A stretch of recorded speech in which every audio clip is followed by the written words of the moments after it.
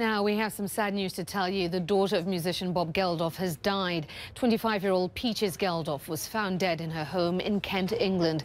Officials say the death is sudden and unexplained. Peaches was married to Thomas Cohen and had two sons, ages 20 months and 10 months.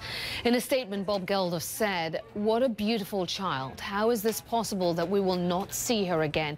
How is that bearable? We loved her and will cherish her forever. Peaches was the daughter of Geldof and TV presenter Paula Yates, who died of a drug overdose back in 2000 when Peaches was just 11 years old. Yates was romantically linked to INXS lead singer Michael Hutchence, who died in 1997. Peaches' final Instagram and Twitter post was a touching picture of her as a baby with her mother.